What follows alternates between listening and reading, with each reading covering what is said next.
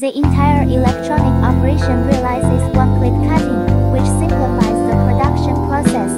There is no need to make a knife mold, import the electronic graphics into the equipment and then the vibrating knife cuts the material into the graphics required by the customer. The cut product has no jagged